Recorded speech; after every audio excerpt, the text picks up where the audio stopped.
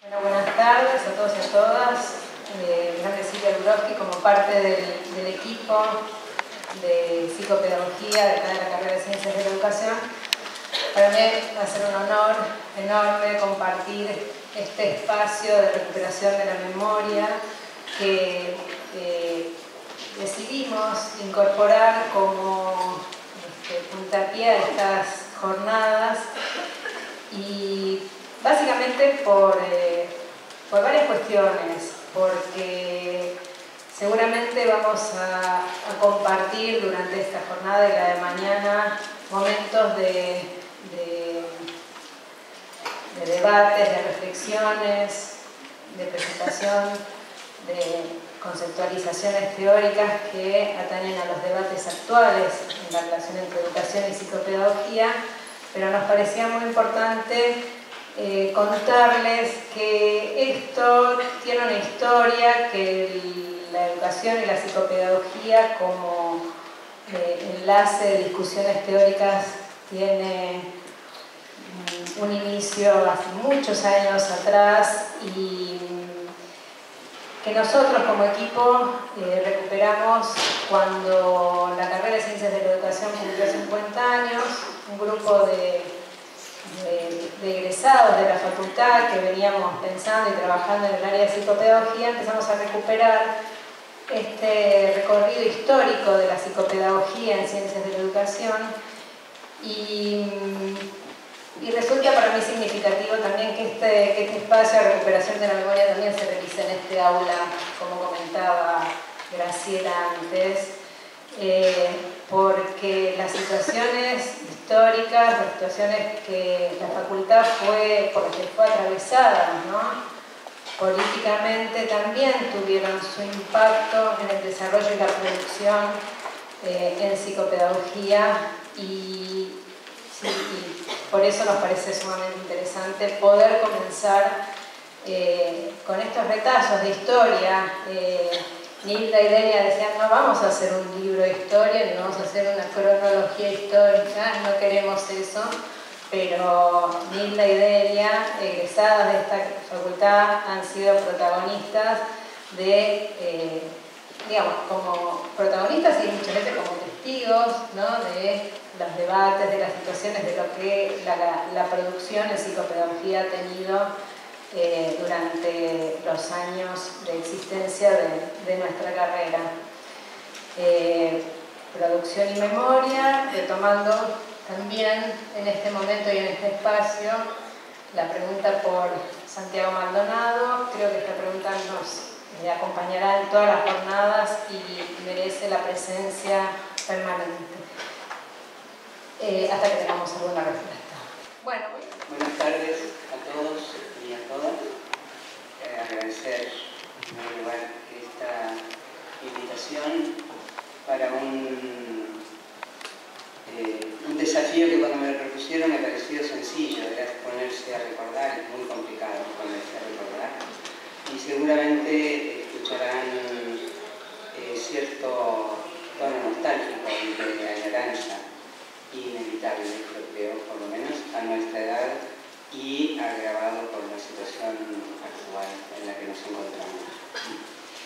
Eh, tal como me pidieron, yo eh, fui armando y con Delia intentamos y nos juntamos para reconstruir,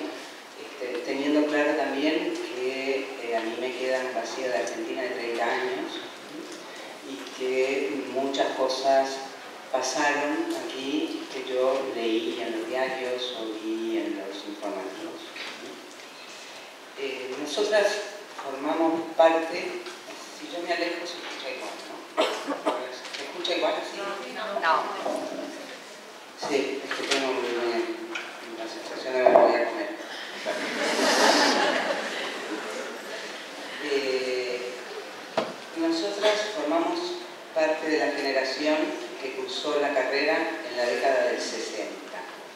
Pueden sacar cuentas y fácilmente llegar este, a los datos del DNI.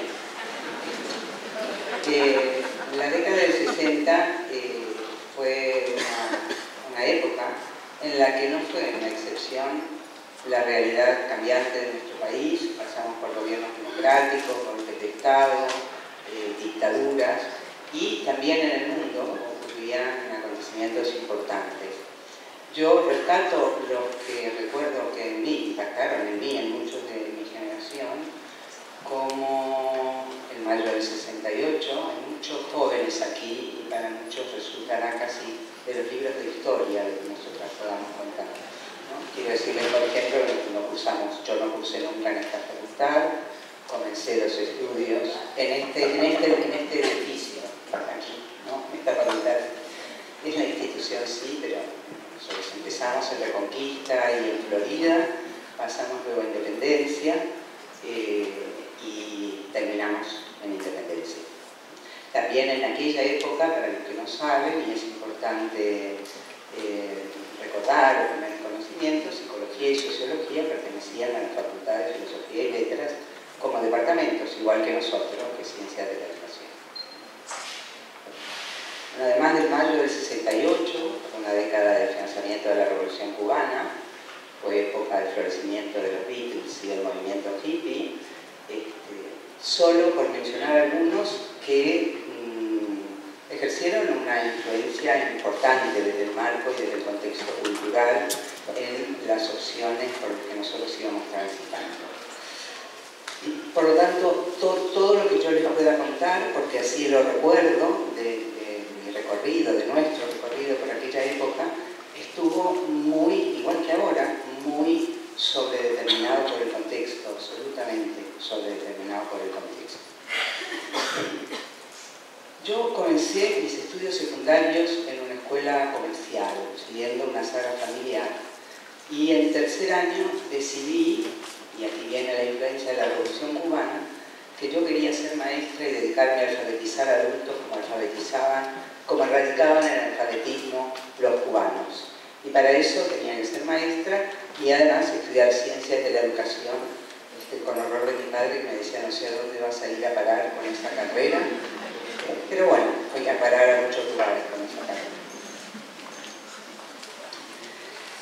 Eh, luego, mm, los avatares y las posibilidades que el contexto ofrecía hicieron que mi vocación por la educación de adultos eh, se diera paso a la psicopedagogía y ya les voy a, ya voy a contar. En el año en el año 62, que es cuando yo comienzo la carrera en la universidad, era en aquel momento el rectorado del doctor Lucier Jones. Eh, él cambia el plan de estudios y en aquel momento la carrera pasa de ser pedagogía, si no me equivoco en el recuerdo, y se convierte en ciencias de la educación. Sin embargo, sin embargo, conserva mucho la impronta de la filosofía con la que venía la carrera anterior. En aquel entonces el plan de estudio era un plan absolutamente generalista, no tenía orientaciones, la posibilidad de profundizar en aspectos de interés para cada uno, se ofrecía a través de las asignaturas optativas, que eran, recordamos con Delia, que seis, pero yo dudaba si eran seis o ocho, pero bueno, seis, que no tenían proyectos, sino que teníamos la oferta de materias posibles de diferentes carreras de la facultad y había que cursar seis optativas y cada uno se armaba su propia carrera, su propio recorrido, digamos. Así es como de, esta misma carrera encontramos, y yo voy a hacer referencia a algunos de ellos porque son mis compañeros del alma y de la historia, para ustedes muchos han de ser conocidos y otros no, encontramos graduados que eligieron caminos muy diversos. Por ejemplo, historia de la educación, como Juan Carlos Tedesco, sociología de la educación, como Silvia Renovate, política de la educación, didáctica de las ciencias, Hilda Weitman, didáctica general, Marta Souto, didácticas específicas, lectura, escritura, matemáticas, Delia, Ana María Kaufman, Liliana Perchinsky, Alicia Lenzi, solo por mencionar algunos de nuestros compañeros de entonces. Seguro que quedan muchos, muchos que yo no recuerdo y que en el transcurrir del tiempo fui perdiendo por el camino. Y otros nos orientamos hacia la psicopedagogía. Susana Ortiz, Irene Espósito, Zulema Rosenbaum, a quien me permito un homenaje especial, amiga profesional maravillosa y amiga del alma, que seguramente hubiera estado aquí, donde estoy yo, si estuviera aún entre nosotros, pero lamentablemente nos dejó hace ya muchos años.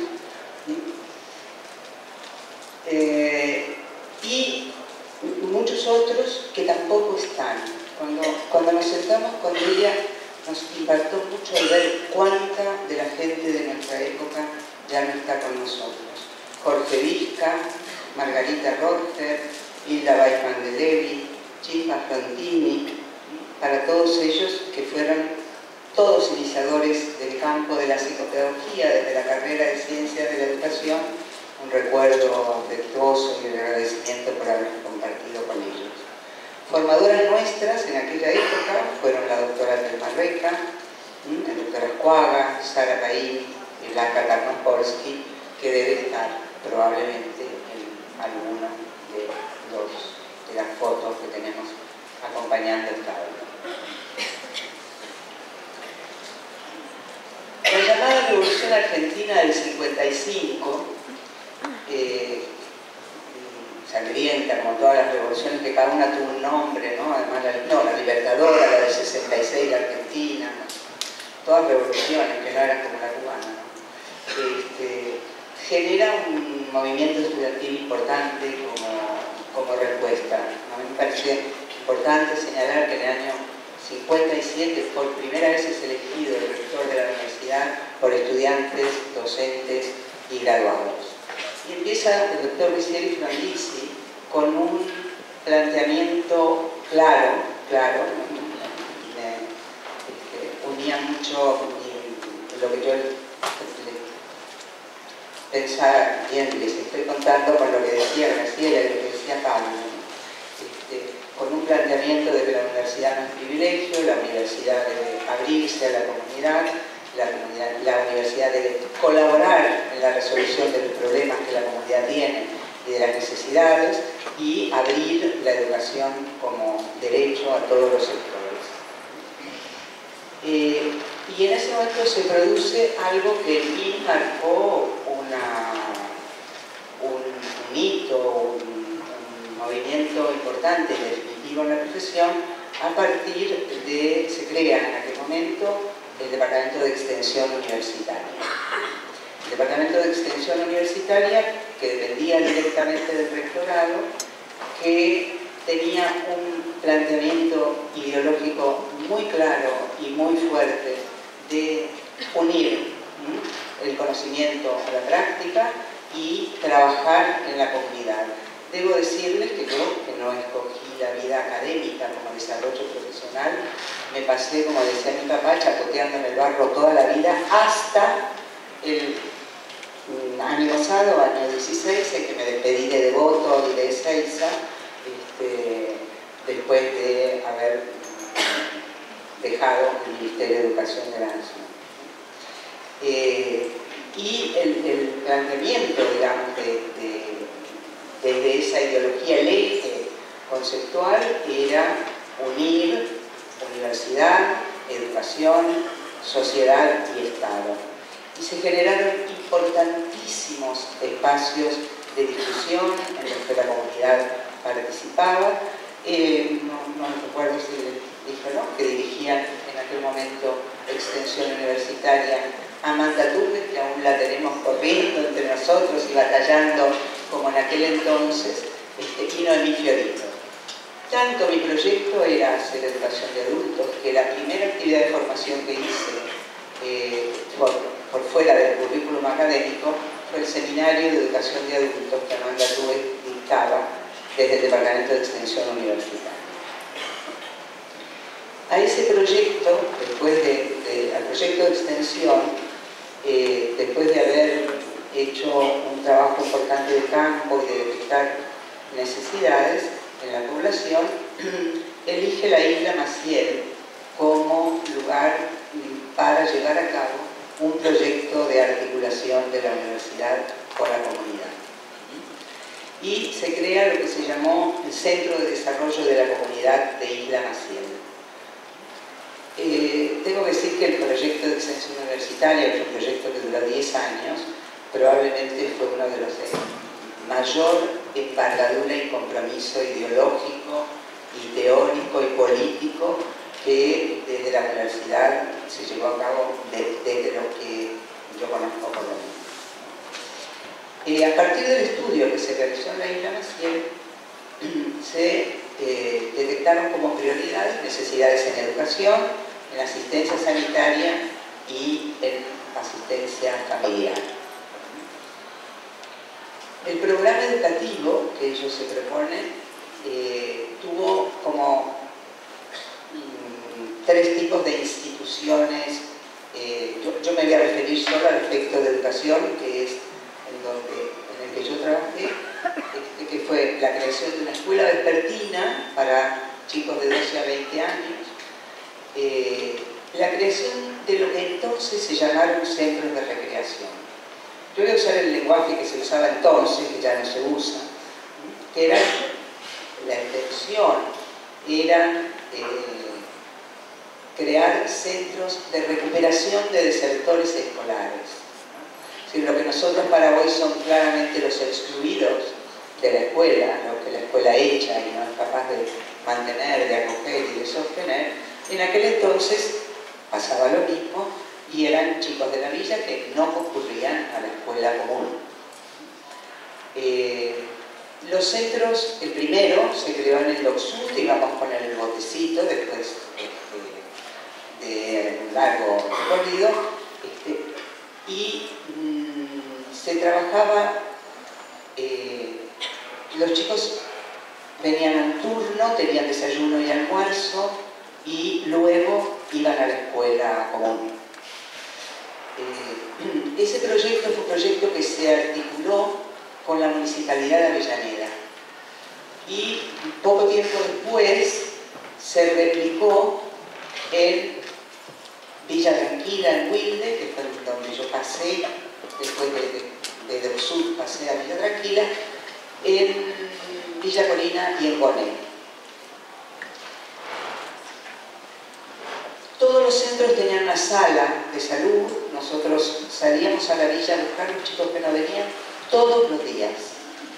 Y los chicos que no asistían, nosotros cuando terminaba la jornada escolar íbamos a visitar las familias de los chicos que no venían.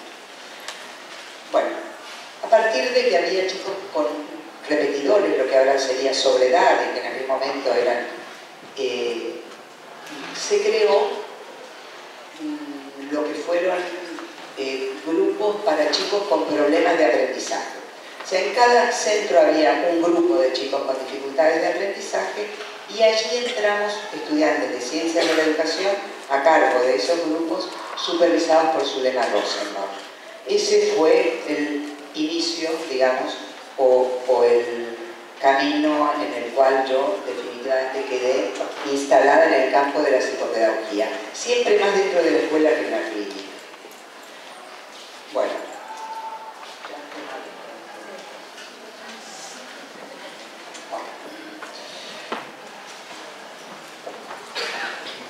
Nada, solo voy a contar algunas de las cosas que tengo. Eh, para mí también quería destacar, es importante que en aquella época la única universidad que ofrecía psicopedagogía como carrera era la Universidad de Salvador, universidad privada y universidad religiosa, en un momento en el que la educación privada tenía un gran desprestigio. Mm, ustedes seguro que lo saben, en el año 58 hubo un movimiento muy importante que fue de la laica libre contra el artículo 28 que otorgaba beneficios eh, económicos importantes a la educación privada y el 19 de septiembre una marcha del año 58 multitudinaria en defensa de la escuela pública. Yo estaba en segundo año de la escuela secundaria. Segundo año de la escuela secundaria.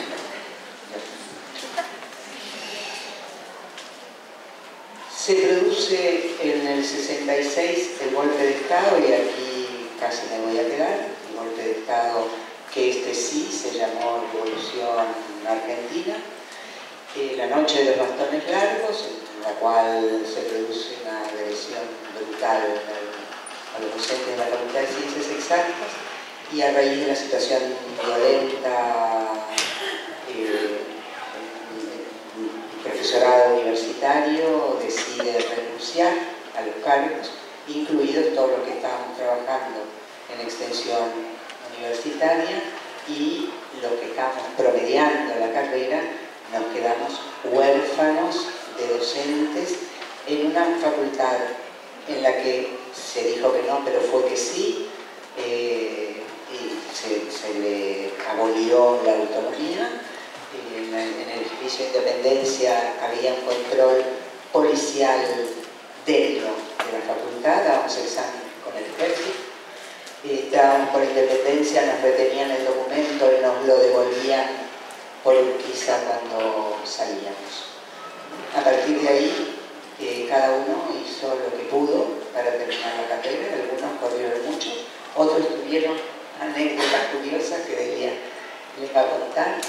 Este, y para mí, a partir de ese momento en que se me cierra la posibilidad institucional, eh, quedamos trabajando en ámbitos privados, sea en escuelas